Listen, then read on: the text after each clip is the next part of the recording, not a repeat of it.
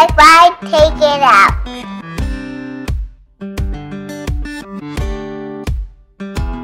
I'm excited about mommy's new app on her iPhone. Would you like to have Mommy's new app?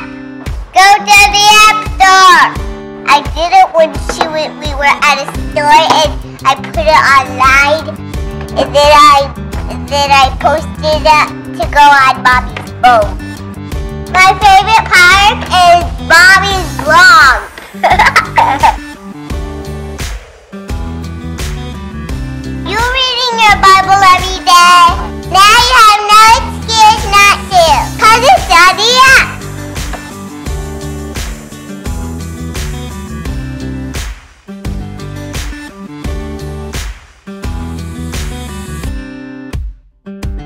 I forgot something very important. The Droid version is coming soon. Until next time, bye bye.